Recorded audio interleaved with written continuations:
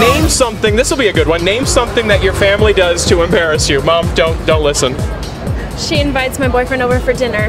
My dad did this really weird dance move in the middle of everyone. Show me.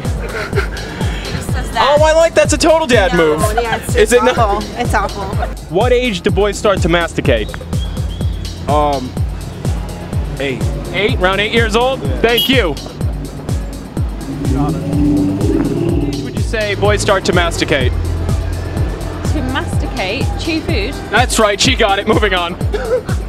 I don't know. Yeah. Um, I don't know what age they masticate. Uh, Yeah. I'm guessing masturbate Yeah. would be um, Sure. as soon as they're out of diapers, I guess. As soon as they're out of diapers. yeah, because Wow. then they don't have that protective covering. Yeah, but that's that's really what I was thinking of in diapers. Sure.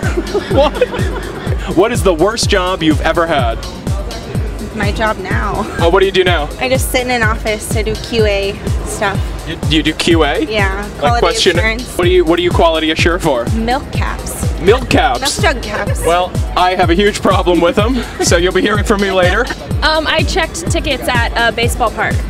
That seems a lot more fun than what you do. yeah, No, Yeah. angry, angry drunk people get mad at you because you won't let them take in their soda. And There, uh, a lot of them are angry. yeah. Probably all the shitty milk caps. This is really your problem over here. All right. Uh, the worst job I've ever had. I had to dress up as the Statue of Liberty. Really? Yeah, and try to get people to come in and get their taxes done. You held the torch, huh? yes, I did. Oh, well, I love it. Thank you, Liberty Island. It's a Wicked FX. What is your name? Uh, Louis. Tyler. Christian. All right, Christian, Tyler, and Louie.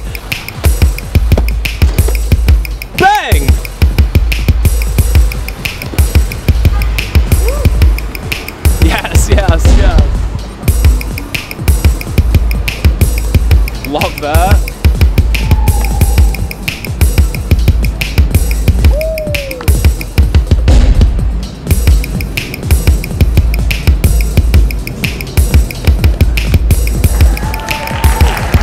Ladies and gentlemen, Wicked FX.